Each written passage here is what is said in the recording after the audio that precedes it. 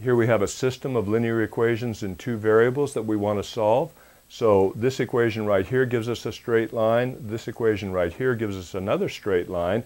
And so what we're looking for is the point where these two lines intersect, assuming that they're not parallel or the same line. So I'm looking for their point of intersection, and so I'm going to solve this by what's called the addition method. So what I'm going to do is use the addition property of equality to add these two equations together so that I eliminate one of these variables. So the easiest one to eliminate right here is going to be the variable y.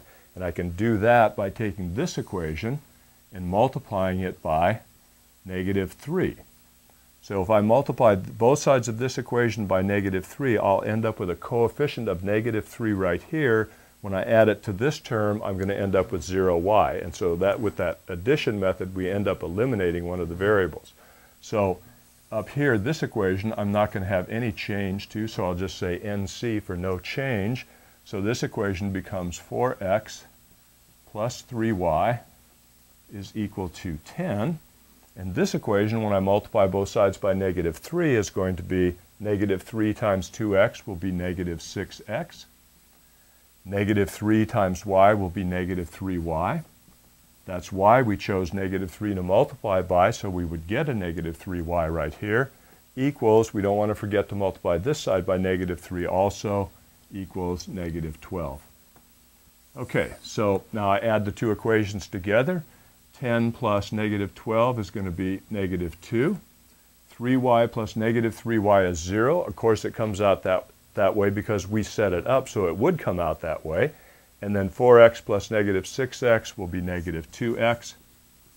So now I've taken this system of equations and reduced it down to just a single equation in one variable, which is easy to solve.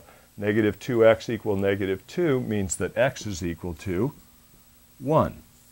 So that turns out to be the x-coordinate of the point where these two lines over here intersect. To find the y-coordinate, I'm going to take this value of x and substitute it back in here or here or here or here, anyone I want. It won't make any difference. I'll get the same result.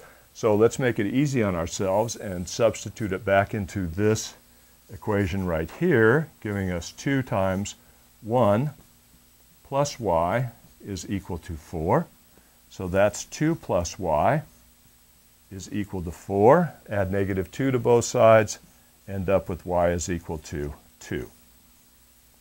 So that's the y-coordinate of the ordered pair uh, of the point where these two lines intersect. So my solution to the system is the ordered pair x equal 1, y equal 2.